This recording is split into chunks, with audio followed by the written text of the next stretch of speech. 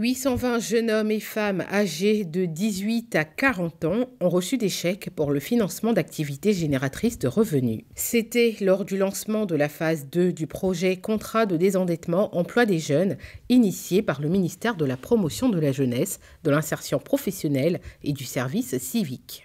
À tous les jeunes non encore bénéficiaires des projets, préparez-vous à aller à l'assaut des points d'ici quelques temps dans le cadre de la phase 3 du CDD notamment au sein du conseil régional, à l'agence emploi DGV, à la préfecture et les sous-préfectures.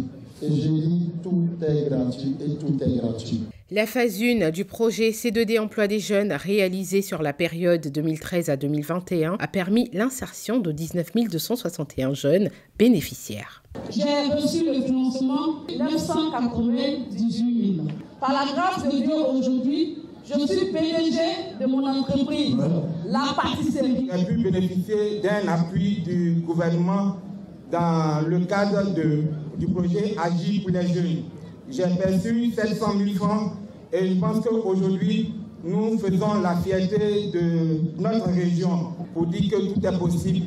Présent, le ministre d'État Kobenan Kwasi Adjoumani a exhorté les jeunes bénéficiaires à saisir cette opportunité que leur offre le président de la République en décidant de mettre à disposition des fonds pour soutenir la jeunesse, s'engage à respecter sa parole comme il a toujours su le faire, puisqu'il a décrété cette année l'année de la jeunesse.